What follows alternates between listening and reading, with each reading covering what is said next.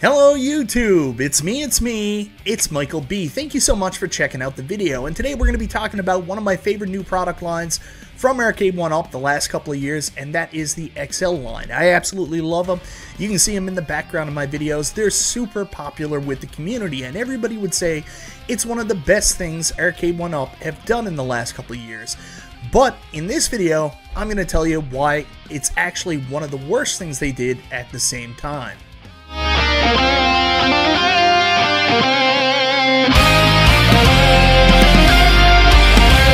So that's right guys, in today's video we're going to talk about why the Arcade1Up XL line is the best and worst decision Arcade1Up has made for their business in the last couple of years. But before we get into that, I want to say thank you so much everybody for checking out the video. Guys, I always appreciate the support. If this is your first time to the channel, you like what you see, go ahead, and subscribe, click the bell for notifications, all that YouTube jazz. One of the most controversial and interesting designs that Arcade1Up have come out with in the last couple years is the XL cabinet. And while trashed a little bit initially due to the poor screen and questionable choice of graphics in the Shaq Jam cab, people quickly fell in love with the larger form factor. Originally, I was a little hesitant to pick them up because of those same decisions that I talked about earlier with the screen and with the art on the NBA Jam XL, but when presented with an opportunity to pick these up at a discount, I did and quickly fell in love with them. The line kept improving from there as we got our next XL, or as you would want to call it, a Pro model, and they did fix the screen issue and came out with an absolutely badass cab, which was the Killer Instinct Pro. Although priced a little bit high, it was still a massive improvement to the first two XL cabs. And while people were waiting for continuation this year, seeing what the next XL were, we got one of the most unhappy releases for most Arcade1Up fans is another Pac-Man, but where it was in the XL form factor, despite it being Pac-Man and us seeing so many releases of this game already, we all fell in love with it, and it was the best Pac-Man to date. The XL line is absolutely a fan favorite of the community. So with all those positives, you guys are probably saying, Mike, the XL cab line is the best thing they have ever done. These cabs are more representative of what a true arcade cabinet is. They have a bigger screen, they have a better overall form factor. How could they possibly be one of the worst things Arcade1Up have done?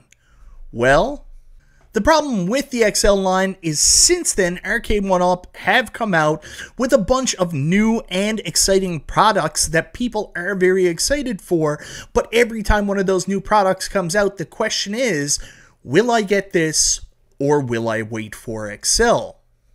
Now, I'm going to be honest, this is not a question everybody asks. XL's not for everybody. I've heard certain people in the community say they're happy with the three quarter scale line. They like the smaller form factor. They're fine with the 17 inch screen because they only have so much room and they can only pack so many machines in their house. Bigger machines don't make sense for them. But there's a huge component of the community, especially the Reddit community, that wants Arcade1Up to focus more on the XL line going forward.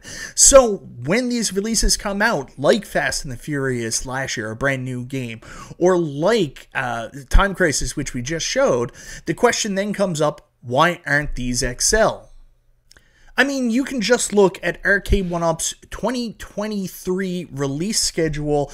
They came out with a brand new product line, the Deluxe line, which was everything fans from Arcade1Up always wanted. Riserless, uh, you know, more accurate art down to the bottom. These were like more like real arcade machines, but yet there was still a large portion of the community that held out and didn't buy them.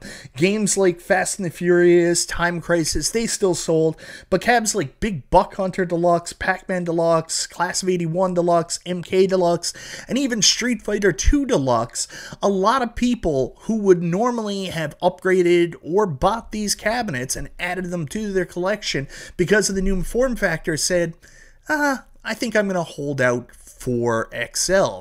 And if you think this theory is way out there and has no ground, I'm going to go back to Killer Instinct.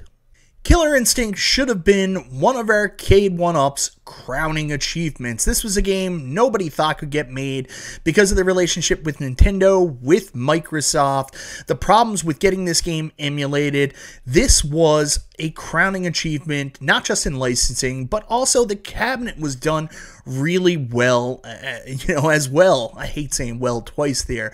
This should have been one of the most successful launches from Arcade 1-Up to date but it wasn't, and for one critical mistake. And that was the announcement of the Pro Series back at CES, I believe it was 2022. I might be wrong about that. Yes, CES 2022, the announcement of the Pro Series actually happened before the three quarter scale cabs even hit the market. The announcement was early January, late January. The Killer Instinct three quarter scale cabs came out, and it created a huge divide within the community. Do I keep my three quarter scale Killer Instinct pre order? Do I go ahead and get this cab when I see it? Or do I just wait for the Pro to come out? And we're facing the exact same situation now with all of our Arcade 1-Up's future releases. Stuff comes out like Time Crisis, uh, like Fast and the Furious, even some of the deluxe cabs from last year, and it's always in the back of our minds. That's cool, but I would rather have the bigger version. I'm waiting for the XL or the Pro model to come out. Now I have the Pro model, and of course I am extremely happy with it. It's a great looking cabinet. It's got a great height, great form factor, great feel. The screen with the BOE monitor, much improved. Love this cabinet. I wish it wasn't a Pro cabinet and it wasn't a $1,000. I could have done without that. If this was a regular XL cab, I would have been very, very, very happy with it just the price. That was the problem. But a lot of people saw the price point, uh, saw the early complaints about the joysticks, and ended up not getting this cab. They ended up not getting the Pro or the three quarter scale cab because of the announcement of the Pro coming out and then the subsequent disappointment about price and uh, quality issues with the controls. They ended up not getting either. And this is all Arcade 1-Up's fault for announcing the Pro cabinet before the three quarter scale even made it to retail. And I feel like most of us are dealing with similar issues now, even though nothing's announced, there's always that thought in the back of our minds that an XL is right around the corner. I'll give some personal examples here that I went through over the Christmas holidays season. So the first up was on Amazon here in Canada. I'm going to be very clear with you. One of the cabs that Canada sucks, by the way. We can't get anything here in Canada. One of the cabs that never came here to regular retail in Canada was the Street Fighter II Deluxe HS5 cabinet. Now you're probably saying, Mike, that's the Walmart website. Obviously, it came to regular retail. Well, not so fast. It's a third party seller. It's actually coming in by a company called Spreetail. So they're the same seller on Amazon. Just before Christmas or just after Christmas, they put up this cab that's only available here, which is regularly priced 899 Canadian for a deluxe cab. Think about that, how disgusting that is. They put it up on Amazon for $498. When the sale went off Amazon, Walmart still had it listed for 538 and I struggled with this for the better part of 2 weeks on whether or not I was going to pick it up.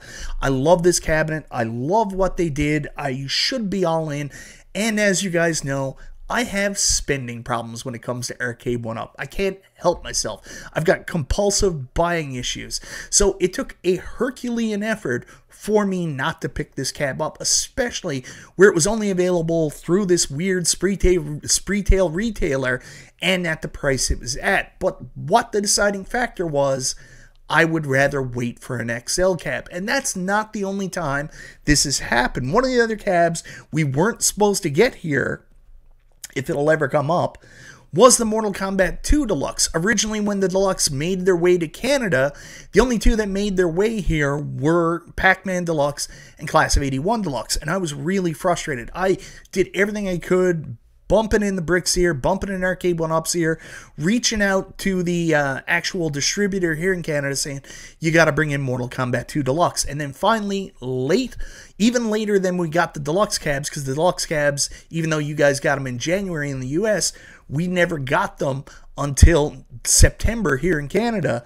This one never showed up till November.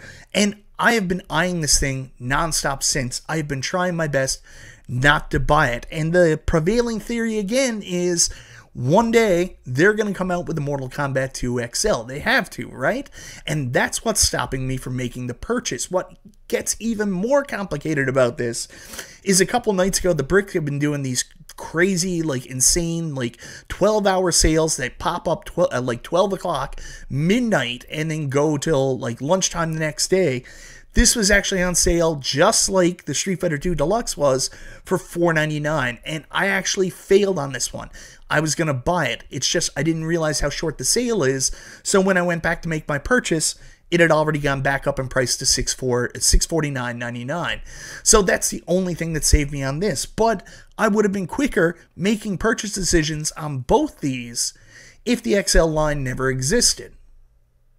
And the other thing that's incredibly frustrating for me, and I know a lot of other Canadians, is right now the XL lines seem to be locked behind a barrier, which is they're only going to be sold at club stores in the US, stores like Costco. And the problem with that is when Arcade 1 Up releases a release, I keep doing this, releases a product to Costco as a Costco exclusive, it never shows up here in Canada. We all want these XL cabs, we all think they're awesome, but it doesn't look like they're ever going to make their way to Canada, but yet we keep waiting for them. And I assure you that many people held off from getting a Pac Man Deluxe cab for that exact reason. We're just here waiting for the XLs to finally show up. And just like with the Mortal Kombat 2 overnight sale, they recently did this with the Pac-Man Deluxe as well this past week. It was up for 12 hours, $499.99. Of course, I was lucky enough that Arcade One Up sent me a review unit of the Pac Man XL. God bless you, Arcade One Up. I can't thank you enough for that. That's the only way I could get my hands on it here in Canada. But I'm sure many people had that question. $4.99. I really want to buy this deluxe cab. But man, what if the XL comes here? And we don't know. It's something that's out there. It may never come even though it's probably never going to come here to Canada, and we kind of know that, people are still not buying your deluxe cabs because they're waiting for the XL. So anyways, guys, that's my take. I think the Arcade 1-Up XL line is awesome. I'm personally in the boat of a lot of other people. This is what I want to buy going forward. I'm waiting patiently for Arcade 1-Up to come out with more XL cabs in the future. That's what my money's waiting on.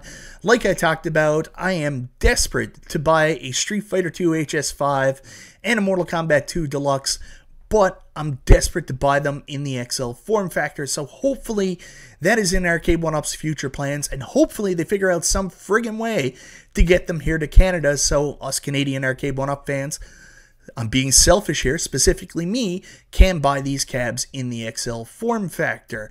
And it's because of that that I think this is also the worst thing they ever did because it always gives us that doubt on whether or not we should pick up a cab in the three quarter line because eventually they might come out with it in XL.